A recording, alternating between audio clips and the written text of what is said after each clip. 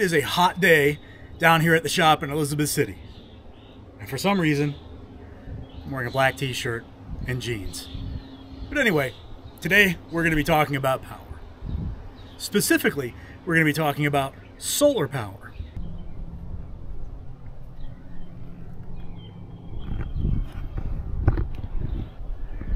Renogy was nice enough to send these 400 watt solar panels to me to evaluate and do a review on.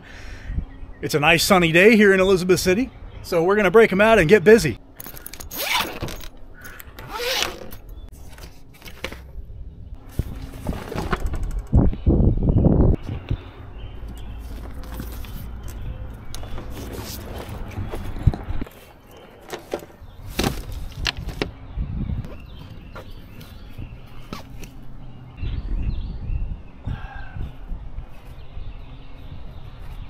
Got the panel set up out here in Jason's yard at the shop in East City, which has no shortage of Jeeps parked in the yard. Let's take a look at the power station that we have it hooked up to and see what we got going on. So this is a Anker station. It's presently at 33%. I had it relatively ran down for this test. It's presently drawing, oh, about 120 watts It varies back and forth between 120 and about 140. And I know you're probably thinking, what's well, a 400 watt station? Why is it only drawing that much? We don't exactly have ideal lighting conditions. It's sunny, in and out, sunny, cloudy, sunny, cloudy. So right now, we don't have the best lighting conditions, but it's drawing respectable power off these panels, despite the fact that, well, part of it's in the shade. If it doesn't clear up momentarily, I'm probably gonna move them out there where it's nice and bright and see what kind of wattage we pull out there. But right now, we're pulling about 130, like I said, which I think is pretty respectable given the lighting conditions that we're in. Watch out, the professor is doing stuff.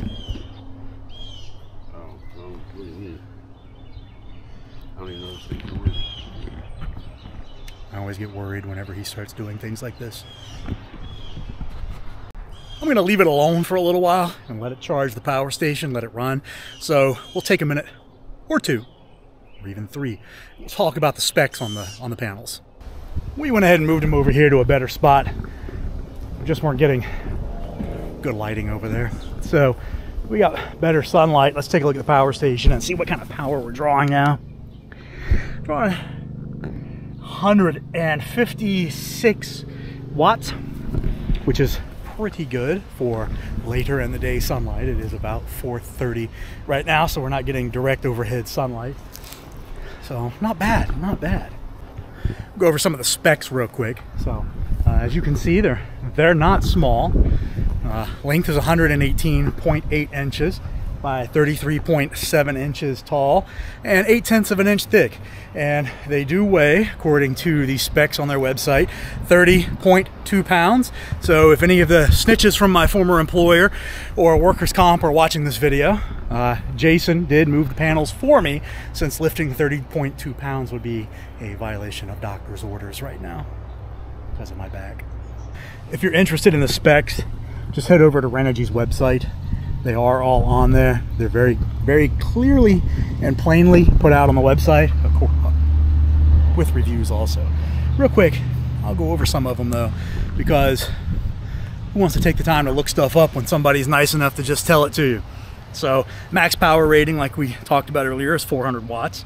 Uh, optima, optimum operating voltage is 40 watts. optimum operating current who wants to take a guess? Three guesses. Your first two are wrong. 10 amp. Fuse is 15 amp. Operating temperature 185 degrees Fahrenheit to minus 85 Celsius. That is the ambient temperature. Folded dimensions, we didn't go over that. It's going to be 27.9 inches by 33.7 inches by 3.2 inches thick. And again, like I said earlier, it is 30.2 pounds. It's got a little heft to it but nothing major. And the panels are rated at IP67 waterproof. I don't know if I believe that or not. Let's find out the hard way. So we're going to test the IP67 waterproof rating because well, why not? It's a nice hot day and we have water hose. Professor, you want to do the honors? Let's take a look at the power station, which is safely out of the way. Power is 184 watts and really isn't dropping a whole lot.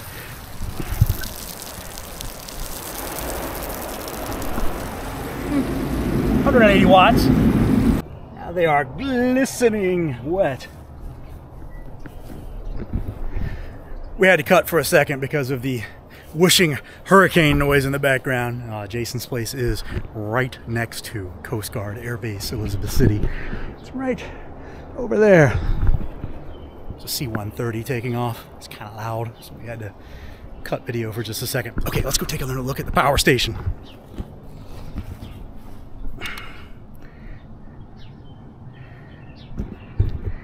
Yeah, power did drop off a bit. We're down to about 120 watts.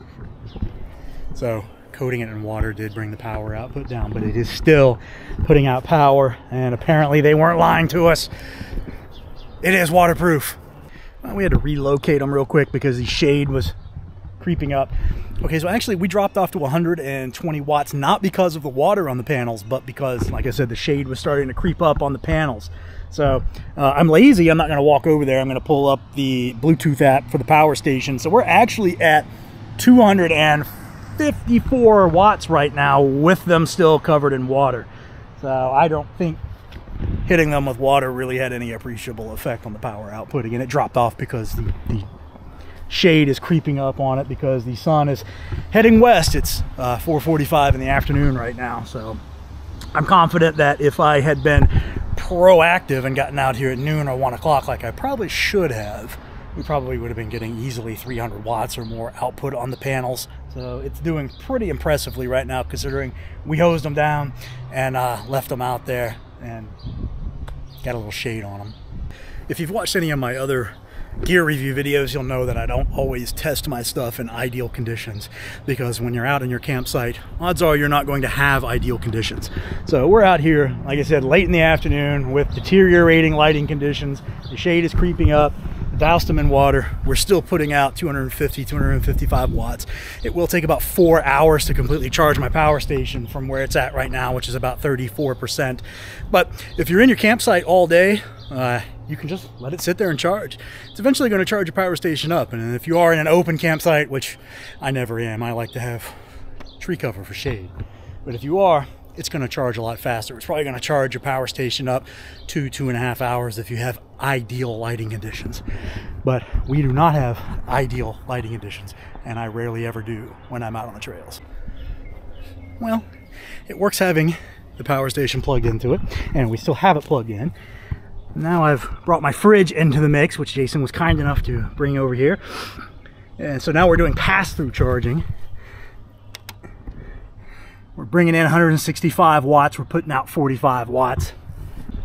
Well, you can see the shade is creeping in. It's getting later in the day. We're now about 5 o'clock.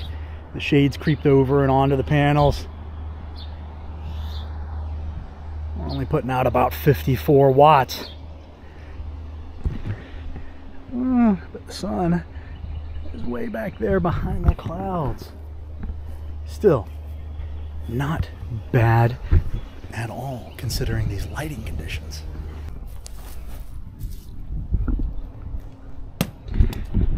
I've been out here for a couple of minutes pelting this thing with pine cones because they claim that it's made out of a sturdy fiberglass material that will last you for decades. And I realize pine cones are not that tough, but I just need to know that they're not fragile. Not only are they not fragile, they appear to be very well made and sturdy. Um, I realize pine cones are not the best test of something's sturdiness, but between being dropped earlier on that foot, which again is just fine, they do appear to be pretty sturdy. Okay, okay, okay. As fun as it is to sit out there and throw pine cones at the panels and plug stuff into them, got them unplugged now, got them set up so we can take a look up close at the build quality. Oh, somebody has hard water at their house. So, Renogy does claim 22.7% efficiency on the panels, on the actual cells in there, which is, I would say, above average as far as industry standard goes. I know somebody is going to watch this and think, oh, no, no, this brand is 23%, or this one is whatever. Again, above average for industry standard. I don't know off the top of my head the efficiency ratings of every panels out there, but from what I've seen going through various panels and their specs, 22.7% is pretty darn good. Taking a look at the backside, the stands, pretty well made. Uh, Renogy claims 3,000 plus times that they can be open and closed. Consider that pretty good. Technical specifications for the panels are right on the back. So if you need to know any information on them, it's right there. Wiring passing through to the panels is pretty well done. The hinges are solid. They're not loose. They don't seem flimsy. Oh my god, look at those water stains. Jason's got to get some water softener out here. Oh, are we living in the stone ages? Again, they're very well made and they're very sturdy. Wiring is not bad.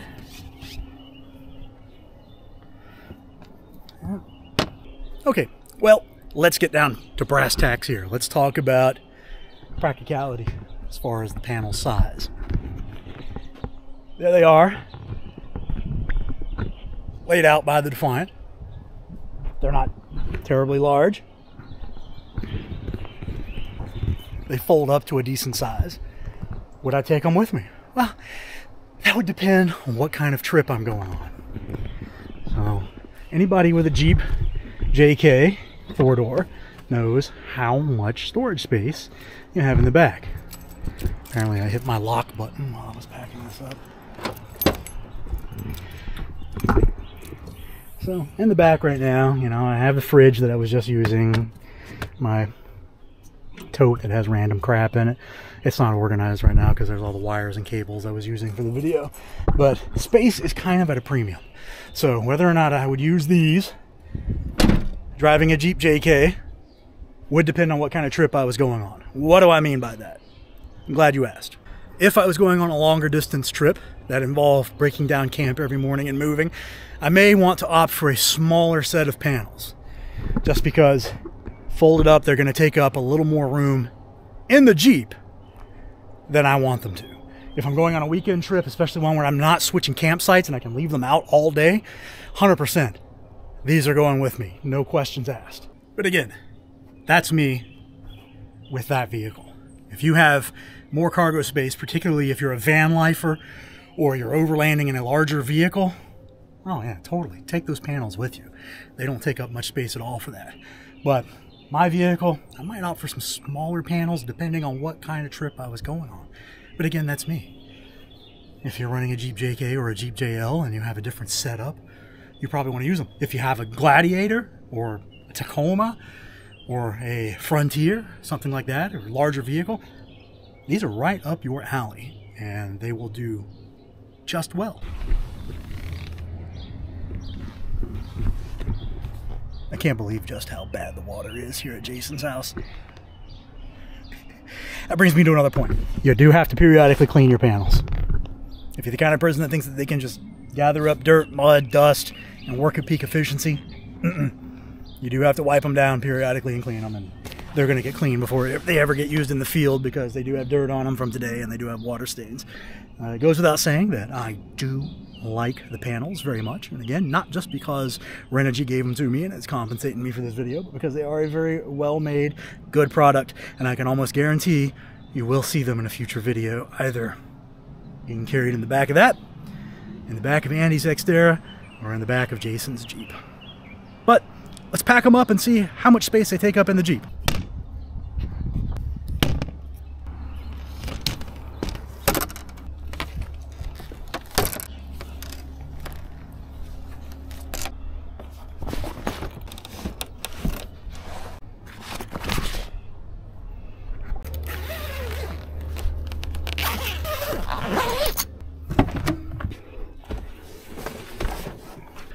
Isn't really how I would transport them under normal circumstances. Of course, I'd have the back seat down and everything set up for a weekend off-roading and camping or whatever.